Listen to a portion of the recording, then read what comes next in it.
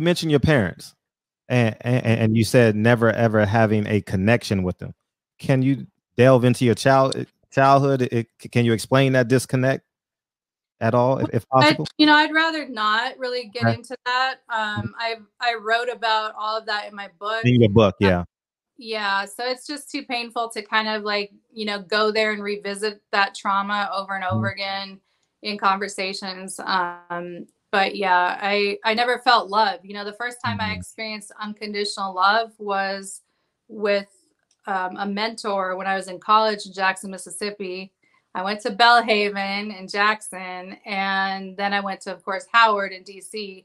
Um, so my two father figures, my first father figure in Jackson, Spencer Perkins, he actually passed away when I was a junior, so he died suddenly my junior year, and my um, my second father figure, Albert Wilkerson, he passed away in 2018. So he was actually um, in the documentary for a brief little bit. He wrote the foreword to my book, um, which I am incredibly grateful for.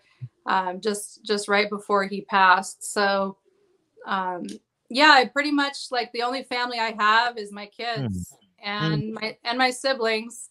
You know, mm. not not the biological sibling, but the other two siblings Ezra and Zach, who were kind of like you know being being used by the parents as their like little mouthpieces during 2015 they've since apologized to me and broken ties with the parents. And so we've had an exodus of five out of six kids away from the influence of those parents.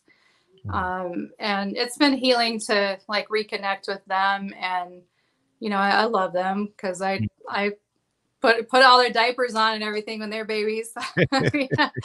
I uh yeah. So that's been that's been maybe the silver lining a little bit, right. you know, just um kind of stabilizing all all of the people that I love, like making sure everybody's stable and healthy and um, growing and doing their thing and achieving their goals. And so that's what truly makes me, you know, happy at the end of the day. Mm.